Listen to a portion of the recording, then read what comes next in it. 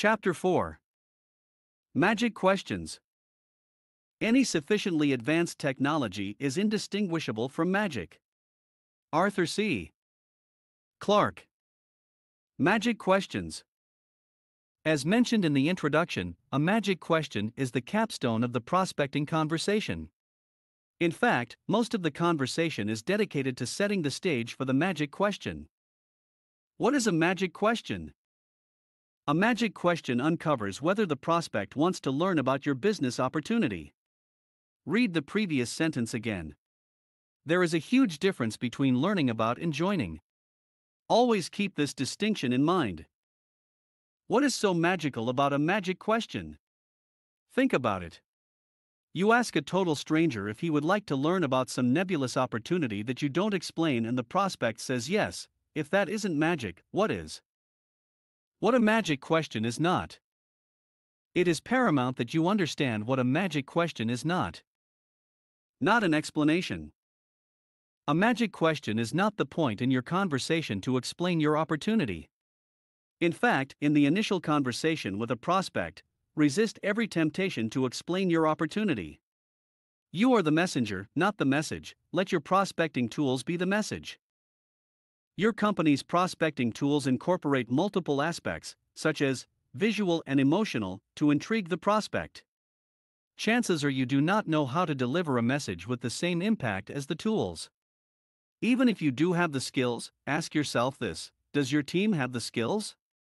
If you have the skills and your team doesn't, then you have not demonstrated a process that can be reproduced, i.e., duplicated, by your team. In other words, your business will never grow beyond what you can do by yourself.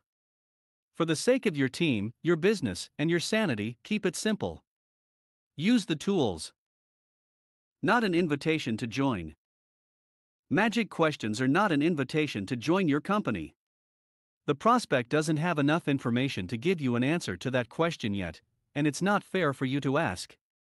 Remember, prospecting is all about the prospect. Maximize his ability to evaluate your offer properly one step at a time. Contents of a magic question. The content of your magic question is critical. An effective magic question has two characteristics. 1. Deals with objections. The best time to deal with objections is before the prospect raises them. The magic question is the best place to deal with the most common objections. A carefully crafted magic question can virtually eliminate one or more objections. 2. Hard to say no to. The philosophy behind the principles of prospecting is to create a low friction conversation. An effective prospecting conversation will prepare the prospect for your magic question. Your magic question, in turn, will minimize any resistance the prospect may have to accepting your offer. In other words, a good magic question will make it difficult for the prospect to say no. Make sure your question does not contain words or phrases that are likely to raise a red flag. Here are some phrases to avoid 1. Business 2. Join 3. Home based 4. Ground floor 5. Part time 6. Involved 7. Extra income 8. My wife and I 9. Opportunity, singular form. 10. You be so good. 11. Ought to do what I'm doing. The above phrases are overused and smack of an inexperienced approach. An effective magic question will cause the prospect to believe that it would be risky for him to say no, at the same time, you want him to realize that saying yes is not at all risky. Delivery The way you deliver your magic question has a direct bearing on how the prospect will receive it. There are three elements to the effective delivery of a magic question transition, setup, and voice. 1. Transition. One key aspect of delivering a magic question is a smooth transition to the question. It doesn't make sense to have a short conversation and then suddenly blurt out an offer of opportunity. Doing so would be amateurish and completely ineffective. The best way to ensure a smooth transition is to use transition phrases.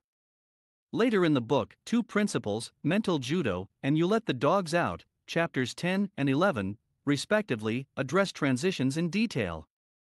2. Setup. You only get to ask the magic question one time. make sure you have the prospect's attention before you ask it. You want him to pay attention, and you want him to know that you expect a response. If you set him up before the question, things will work out fine. The example later in this chapter illustrates how to do this. For your information, just answer me one question. Samuel Goldwyn. 3. Voice. An effective magic question will come across as a natural part of the conversation. If the prospect detects a significant shift in the conversation, he will raise his guard. One way to make sure your manner seems natural is to maintain the same voice. Take care to use the same tone, the same volume, and the same cadence, speed, as you ask the question.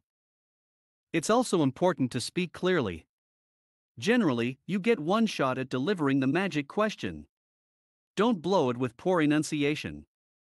Speak clearly and pace yourself by using strategic pauses. If the prospect is unable to follow you, you're wasting your time. The example below illustrates the use of pauses. Examples The text below spells out a magic question that works really well. I use it more often than I do any of the others. This question is generic and works for any opportunity. The commas represent pauses of about a half second each. Raw phrase Jack, let me ask you a question. Are you at all open to exploring outside opportunities as long as they don't conflict with what you're already doing? Outline Jack, let me ask you a question. Pause, are you at all open? Pause to explore? Outside opportunities pause as long as they don't conflict pause with what you're already doing? Notes 1. The setup this statement gets the prospect's attention and lets him know that you are expecting a response.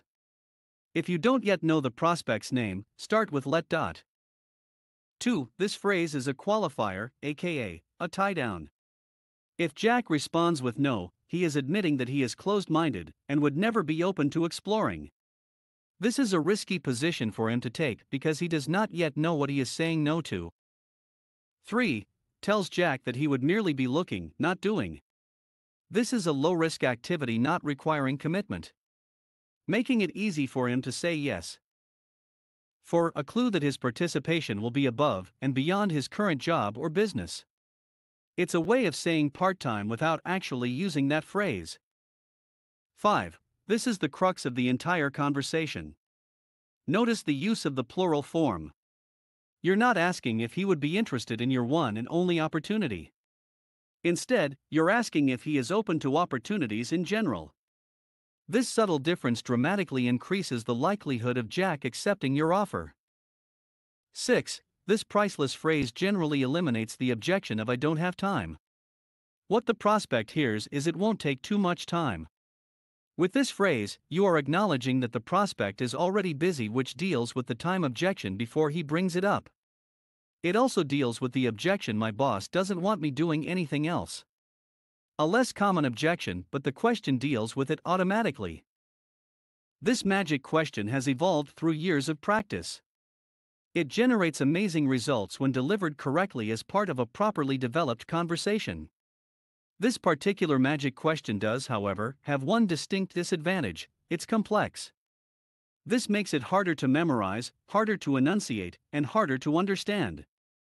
That is why pauses and lots of practice are necessary. The question above is provided as the first example because it illustrates how an effective magic question can alleviate objections. You may, however, get better results when you first start by using one of the simpler magic questions listed next. Other examples Do you look at other ways to make money if they don't take too much time? Are you at a point in life where you would be open to exploring outside opportunities? Are you making all the money you can stand? Degree Do you ever feel like you're worth more than you're getting paid? Do you keep your income options open? Do you keep your options open? Do you ever explore other ways to make money? Are you open to exploring additional streams of income? Are you open to exploring outside options? If could show you a way to double your free time without affecting your income, would we have something to talk about? The possibilities are endless. As you examine these magic questions, notice that they share several characteristics. 1. Of all else, they are questions. You want a yes or no answer, so ask a yes or no question. The person asking the questions controls the conversation. 2. They avoid the red flag phrases identified earlier in this chapter. 3. They contain different words, but they sound similar. That's because all magic questions have the same basic goal is to find out if the prospect has enough interest to accept your prospecting tool. The subtle differences in wording allow you to tailor your question to the prospect. See Chameleon of Many Colors in Chapter 14. This is the end of Chapter 4. Please subscribe and share for more valuable videos.